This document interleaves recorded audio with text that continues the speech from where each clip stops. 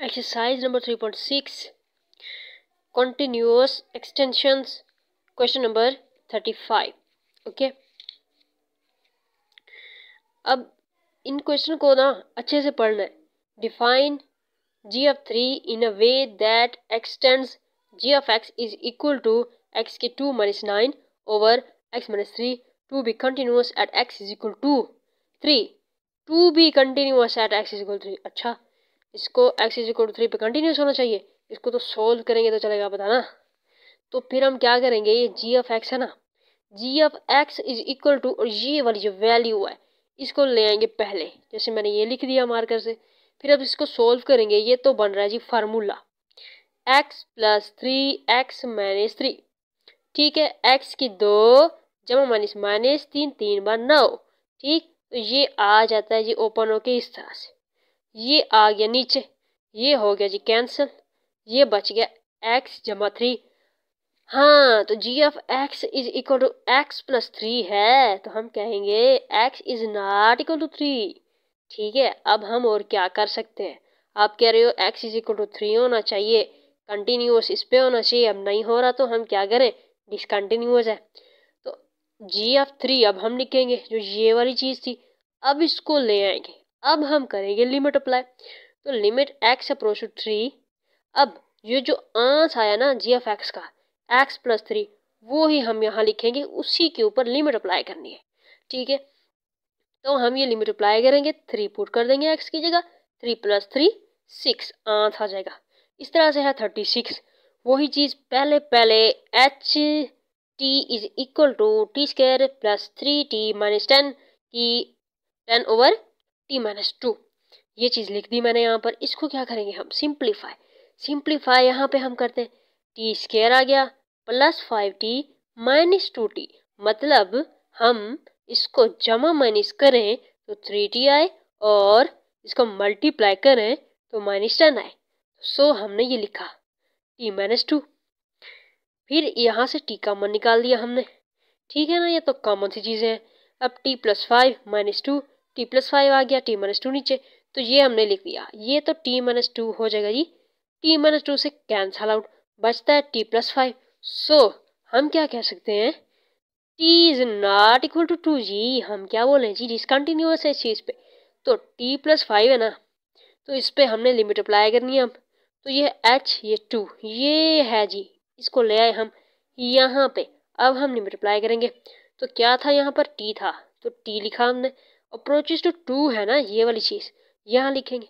अब इस पर ये जो आंसर है इसका, यहाँ इसके ऊपर लिमिट अप्लाई करनी है टी की जगह हमने टू पुट करना है, ठीक है? तो टू प्लस फाइव आ गया सेवन ये आ गया आंस इस तरह से है थर्टी सेवन ठीक है? तो इसको भी इस तरह से करना है। एफ़ एफ़ एक्स है यहाँ पर। एस के थ्री माइनस वन है। अब एस की थ्री माइनस वन को हम ए की थ्री माइनस बी की थ्री का फार्मूले से ओपन करेंगे तो यह आ गया ए माइनस बी ठीक है? ए की दो, जमा ए बी जमा बी की दो। इस फार्मूले से हमने ओपन करा इसको। अब ये इसको ए की दो माइनस बी की दो वाले फार्मूले से इसको यूँ ओपन किया। ठीक है ना? अब ये आ गया ये तो हो गया cancel out s minus one s minus one से। बाकी बचता ये वाली रकम ये नीचे आ गई। अब इसको मज़ीद हम सिंप्लीफाई कर नहीं सकते। यहाँ पे इसको हमने छोड़ दिया। S is not equal to one है जी। इस पे आंसर हमारा आता है। सो so, अब ये f f one is equal to limit apply करने की बारी आ चुकी है। एस अप्रोचेस टू वन है। इधर एस जहाँ पर है, वहाँ पर वन की वैल्यू पुट करेंगे। ये आ जाता है जी सिंप्लीफाई करा तो हमने थ्री बटे टू आंस निकाल लिया। उसके बाद है जी थर्टी एट क्वेश्चन अब थर्टी एट क्वेश्चन भी वैसे ही था। मैंने डायरेक्ट लिख दिया। तो x plus four x minus four कहाँ से आ गया जी?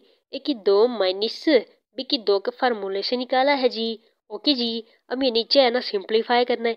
Minus four x plus x यानी माइनस का थ्री एक्स आता है, और दोनों को मल्टीप्लाई करो तो माइनस का फोर हाँ जी, ठीक है ना हाँ जी, ठीक है। Okay x plus four x minus four नीचे हम क्या करेंगे? कॉमन ले लिया। ओके, ये तो इजी सा स्टेप है कॉमन सा सबने पढ़ा हुआ, सबको आता होगा। बहुत इजी क्वेश्चन है। X plus four x minus four over x plus one x minus four अब जी ऑफ़ एक्स है यहाँ पर is equal to x plus four over x minus one oh sorry x plus one oh oh oh oh oh oh हाँ जी, यहाँ पे आके ख़त्म। ये आ गया जी जी ऑफ़ एक्स का आंसर इसको मज़ीद सिंप्लीफाई नहीं कर सकते। So x is not equal to four लिखेंगे। अब हमारी बारी आती है लिमिट अप्लाई करने की। जी ऑफ़ फोर लिखेंगे। Limit x approach to four जो चीज़ यहाँ लिखते हैं, वो यहाँ पर लिखते हैं। अब यहाँ पर जहाँ एक्स है, वहाँ हमने फोर पुट करनी है लिमिट अब four plus four over four plus one क्या आ जाता है जी?